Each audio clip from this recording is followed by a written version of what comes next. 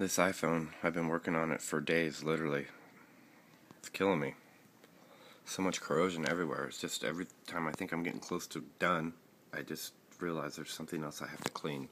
Because it's pointless to take it this far apart and not clean everything. I mean, why do it? Because if it doesn't turn on, you're always going to think, what if it was that one little thing? Anyway, I hope it turns on. Stay tuned.